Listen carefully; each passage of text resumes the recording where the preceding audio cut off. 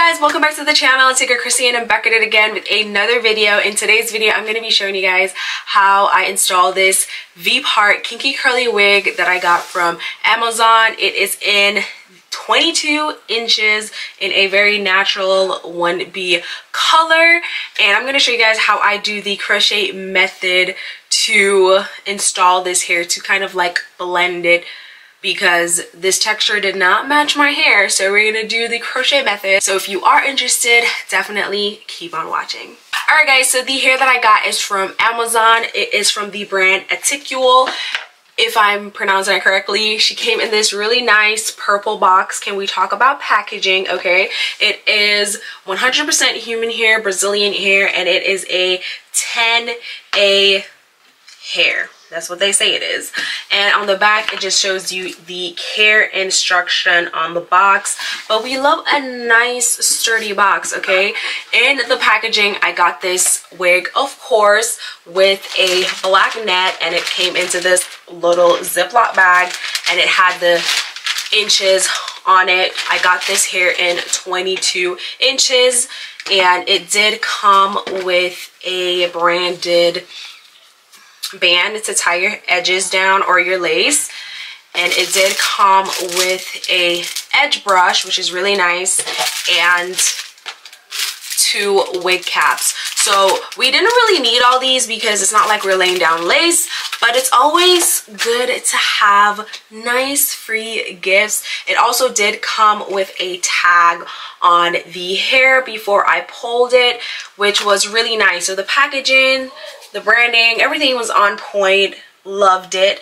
And I did get this hair for probably about 70, under, or about 80 bucks. I'm going to say 80 bucks, but I'll leave the specific price in the description box below just so y'all know so i'm using a old braid down that i did for another style it wasn't the best for this unit but we use what we got around here okay so this unit came with five snap wig clips one in the middle and two at each sides and it did come with an adjustable band as well as adjustable straps at the back and three wig clips two on the sides and one at the back bottom of the hair. So this hair is kinky curly, but the texture is more on the silkier side than on the coarse side. So how I attach the hair is I apply it from the back bottom coming forward and then I attach the wig clips aligning them to my hair and make sure I have enough space that I will need at the top.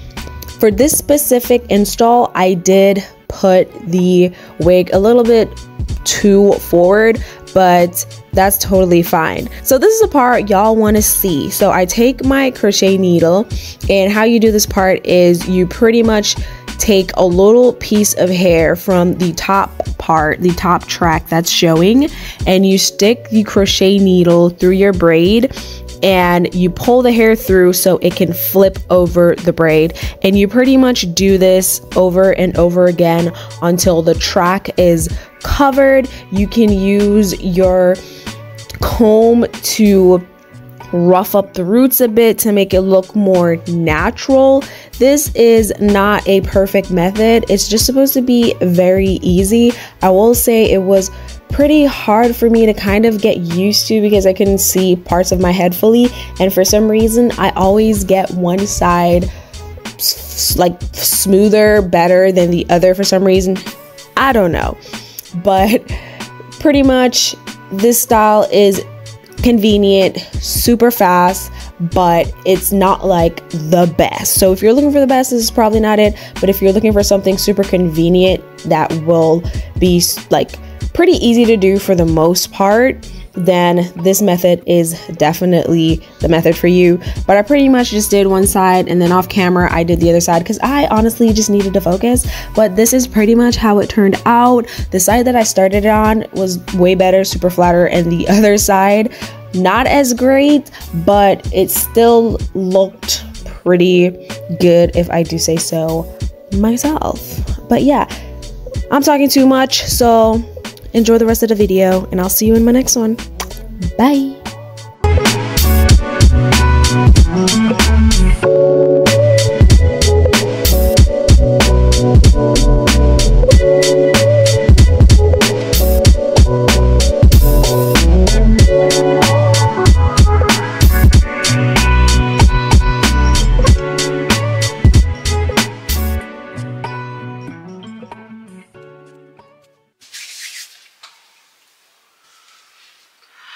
So I pulled out my little braid down that I have on the side with my little leave out. Whenever I have my hair brushed out, it blends way better with this unit. But if it is wet, it does not blend. After it dries, you can definitely tell there's like a difference in texture. But once I have it brushed out like this, you can definitely wear your natural hair out a little bit more. I have four type 4 hair so it's very hard to blend with silkier textures but whenever I do brush it out like this it does blend better and if I do wet it to get that like you know wet wavy look. All I need to do really is just to tuck my hair in the cap and kind of like just sleek it down. So I'm gonna do that for you guys real quick to show you guys how it looks um wet. Just so you guys can see what I'm talking about I did put my cap on a little too forward so you can kind of see the front parts right here but we're just gonna cover that up by just making sure the hair just kind of lays forward a little bit. The first time I installed it I did kind of cut it a little bit. I'll insert clips so you can see um, but other than that, nothing too crazy, just a little bit of snipping because I didn't want it to lose the length. I did get it in 22 inches. So, you know, that's what we're working with. But I'm pretty much just going to go in with some water. And I did have a little bit of this sea moss, um, sea silk Sea Slip Mineral Infused Curl Slime by Curls. This is what she looks like.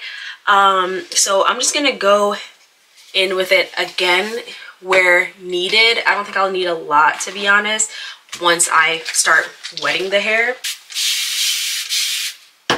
I wore this hair on my birthday trip on a cruise and honestly all I used was just water and my brush. It was a very low maintenance as long as you had water. I was thinking about bringing like mousse and stuff but once I initially put the mousse in there and I just wet it it was totally fine. Granted when I did go into the water and like swim and everything it did wash the product out because I had to wash my hair but I would say if you're going, I did go on like a weekend trip, so it was like four days. So it wasn't that big of a deal. But if you are going longer, maybe you might want to pack some extra product. But if you are gonna be gone for like a couple days, I don't think you really need it. That's all I did, just wet it with some water and just twisted it up and put my bonnet on. And that's pretty much how I styled it the entire trip.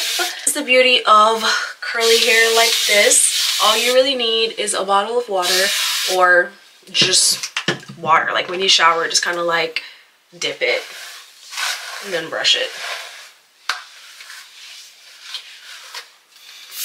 Wetting it, I can already feel the slime on it. So I don't think I'm gonna put any extra product in there because I don't want it to be like too much.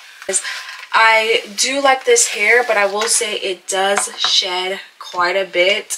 Um it is curly hair. It will shed yes. It's not super annoying but it can get annoying depending on how many times you actually manipulate the hair and style it so this is pretty much the final look. It's just to dry down and it's to look nice. This is what we're working with. The hair is super soft. It is easy to manage. I love that I can wear it curly in its natural form, giving me that wet look. And then I also love that I can also wear it brushed out to give me that, you know, nice little voluminous look we love that the only part is that i wish it did match my texture a little bit more but nonetheless it does work still looks good.